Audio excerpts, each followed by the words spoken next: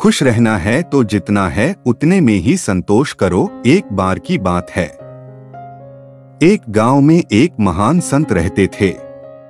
वे अपना स्वयं का आश्रम बनाना चाहते थे, जिसके लिए वे कई लोगों से मुलाकात करते थे। और उन्हें एक जगह से दूसरी जगह यात्रा के लिए जाना पड़ता था। इसी यात्रा के दौरान एक दिन उनकी मुलाकात एक साधारण सी कन्या विदुषी से हुई।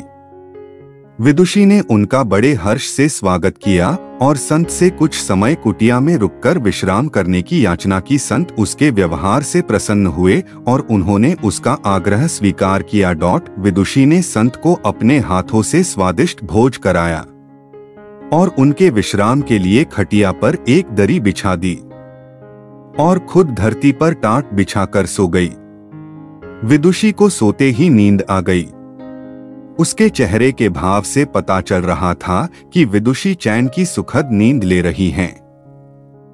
उधर संत को खटिया पर नींद नहीं आ रही थी उन्हें मोटे नरम गद्दे की आदत थी जो उन्हें दान में मिला था वो रात भर चैन की नींद नहीं सो सके और विदुषी के बारे में ही सोचते रहे, सोच रहे थे कि वो कैसे इस कठोर ज़मीन पर इतने चैन से सो सकती हैं।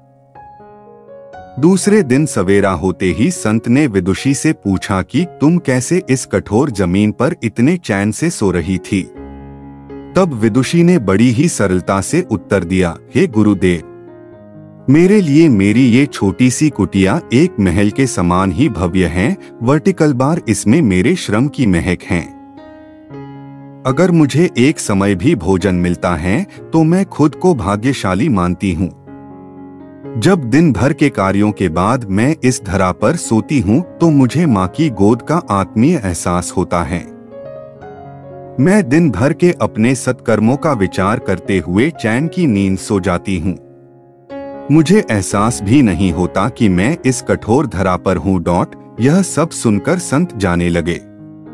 तब विदुषी ने पूछा, हे गुरुवर, क्या मैं भी आपके साथ आश्रम के लिए धन एकत्र करने चल सकती हूँ?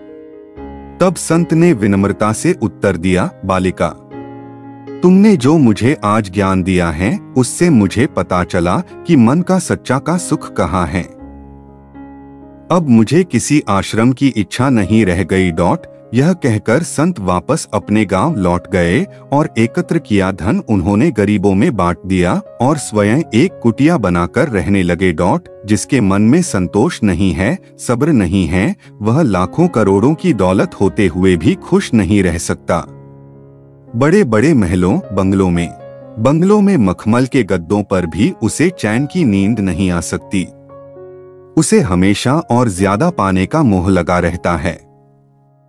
इसके विपरीत जो अपने पास जितना है, उसी में संतुष्ट है। जिसे और ज़्यादा पाने का मोह नहीं है, वह कम संसाधनों में भी खुशी से रह सकता है।